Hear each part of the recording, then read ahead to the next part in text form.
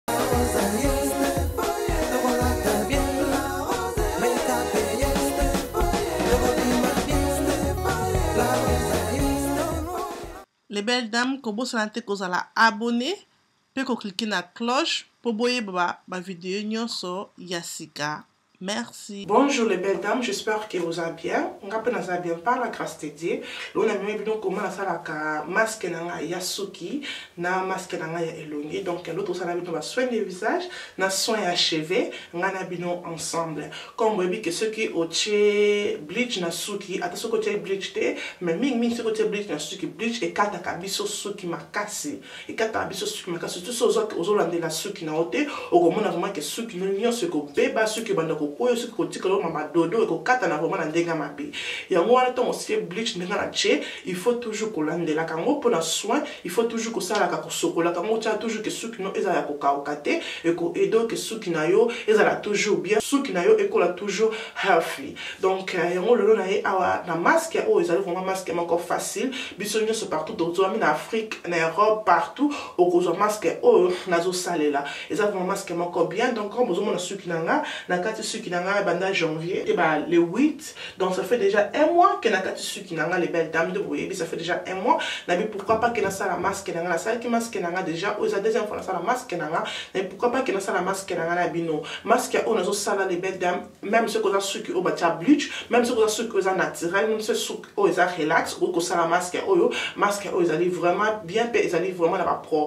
baprotéine euh, ba ebele ebele ebele eloko oyo oza nango mposa oza na mposa kozala na maki donc eza mpo natye maki na ngai boni bozomona wana natye maki mibale bambuma na ngai jaune mibale mais soki mpe olingi okoki mpe kotya maki bambuma jaune na ya pembe mibale me ngai natie kaka maki na nga ya jaune parce que last time asalaki bambuma jaune na ya pembe yango sikoyo this time nabike non asala ya mbuma jaune kaka me ata soki bosala ya mbuma jaune na ya pembe eza na problème te moza na posa kozala na de maki donc maki yango oyo maki na nga jaune atie na bol e oza na posa mpe ya kozala na olive huile donc huile d'olive nde bozomona wana huile d'olive eza vraiment important na masque oyo tozosalela mpona suki na biso huile d'olive donc oza na mposa huile d'olive oza na mposa kozala na maki biloko mibale yango nde tozosalela suki na biso mpona kotya na huile d'olive na kofungola huile d'olive na ngai nakozwa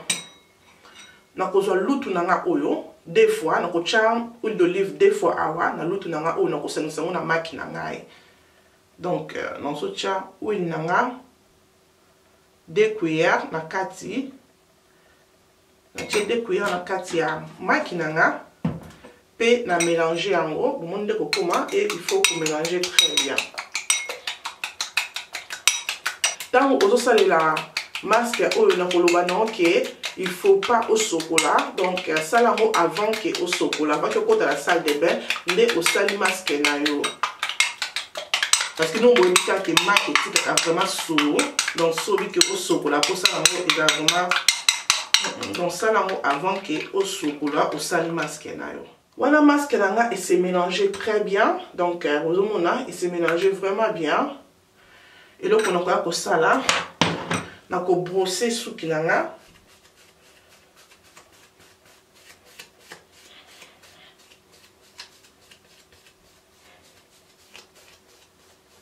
après nakoya kopakola maki nakoya kopakola maske maske oyo bana utilisaka maboko ozala kaka sur ke maboko no eza propre mais soki oza na brosse ya utilise problème mais comme eza suki wapa na mposi ekota na po na yo donc il faut utilise maboko donc nga na utilise maboko maske na ngango oyo nazosimba wana maboko e na bandi kopakola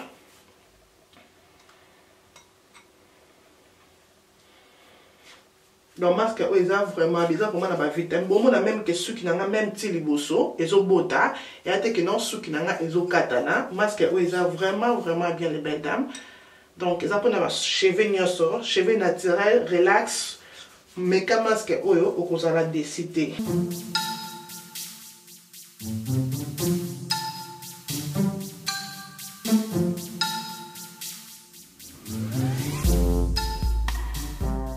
Voilà, et c'est mélangé bien.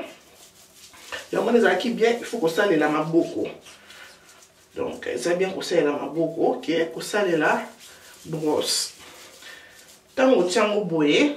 kokotisa pene te ko peigner suki no te parce que boyebi ke masque maki ekangaka biso suki soki olobi ke non ozwa peine obanda ko peigner okati suki na yo suki no ekobeba donc ntango masi omoka na maboko esili après okolata chasse na yo après tokotya chasse na motu e c'est tout koloba te ke non yango tolobaki te kopenye suki na yo te parce que maki ekangaka biso suki mpona kotya chasse donc natie chassele yango na motu e okoki kovanda na masque na yo boye mpo na 30 à 1 heure du temps ça dépend na yo ngai nde naza biloko toza ntongo toza vers ba 10 heures yango nabiki nalata yango donc nakovanda nango mpo na 1 heure du temps ti 11 heures apres na yo okota na salle de bain mais bomoni vraimentki nyonso oyo nazalaki nango esili mais etikali nga mokie bo mokie bo eloko na kosala na kotya yango sikoyo na elongi mpo na koluka te kekende perte ko boyebi ke maske na elongi esalaka biso vraiment lumière moko ya bien makasi maske epesaka biso vitamine na poso maske eglow esalaka ke non elongola ba tache noire maske ezalaka vraiment vraiment euh, maki ezalaka vraiment maske moko vraiment très bien na elongi na biso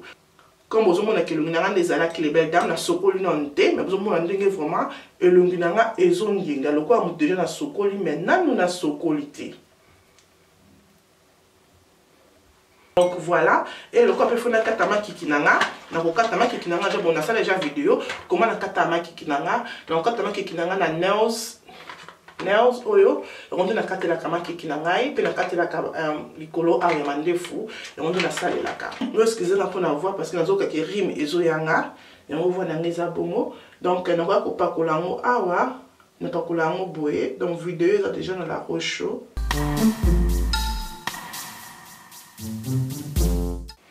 après nakoya kokata mpe na mostage na ngai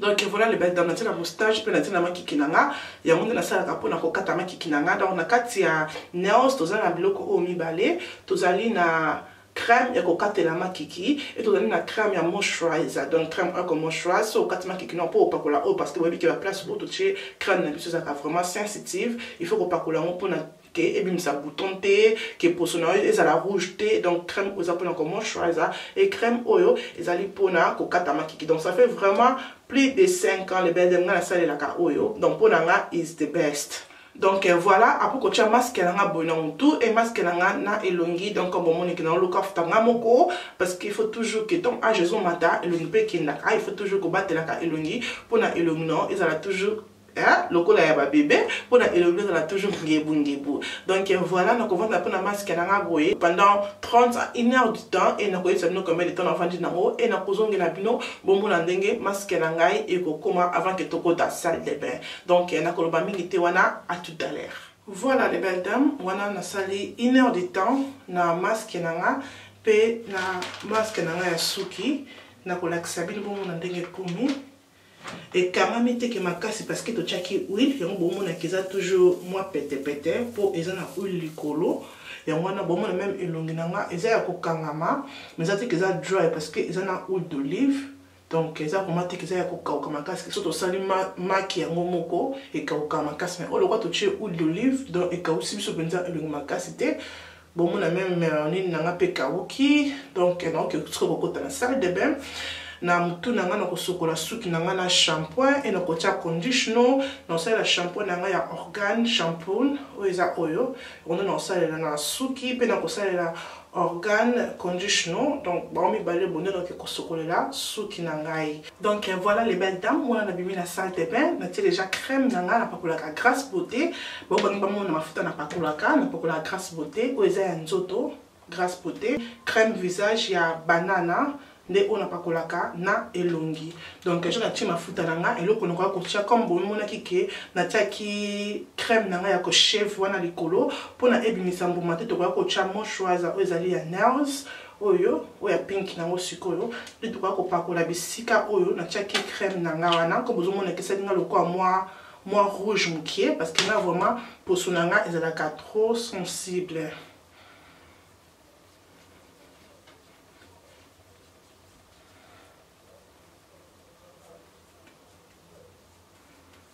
et voilà donc euh, elongi na nga comme omoni ekokoma nga vraiment boye donc bozomona vraiment ndenge elongi na nga ezongenga les belles dames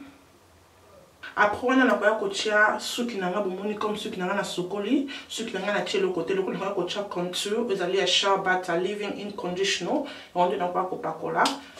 nakopakola condition na nga ya living in parce que oza na mposa otika te ke ntango osukoli suki na yo oza na mposa otika te ke non suki na yo ezala ya kokauka donc euh, na mbasi yango bien na motu nakotisi yango bien na suki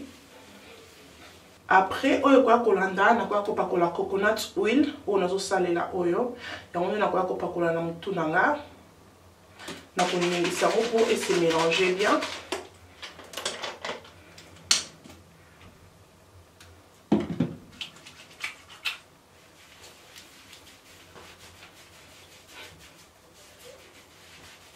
après wana nakoya kopakola huile na nga les belles dames huile oyo nasangisi ba huile ebele na kati natie euh, black coster oyo natie euh, avocat huile natie euh, glyceline na kati natie vraiment ba huile ebele na kati natie mpe olive huile na, na kati ekomi nga boye yango nde na mélange yango donc yango nde na mélange ekomi nga boye nde bozomona yango nde napakolaka na moto donc euh, nasangisi bahuile nyonso ya suki mpo ke nazwaka moko moko te nasangisi yango nyonso na kati e ezo ede ngaki mpo napakola mbala moko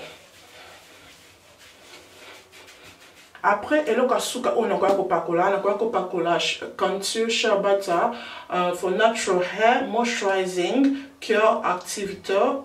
cream donc activateur cream ezali ya mpona kokomisa suki na biso elingama donc nakoya kotya crème na ngai oyo yango nde eyedaka ngai ke suki na ngai elingama donc nakozwa ndambo boye e yango nde ekoya koede nga mpo nalinga suki na ngai bona maboko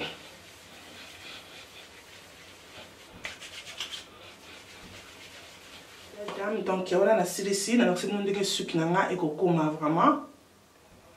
bomoni ndenge vraiment suki na nga elengami suki na nga ebimi propre bomoni ke suki na nga ezokola ti liboso donc eza te ke suki awa ezanga vide parce que nazolandela suki na nga ezokola nga ti liboso nde bozomona wana suki na nga vraiment ezokola bien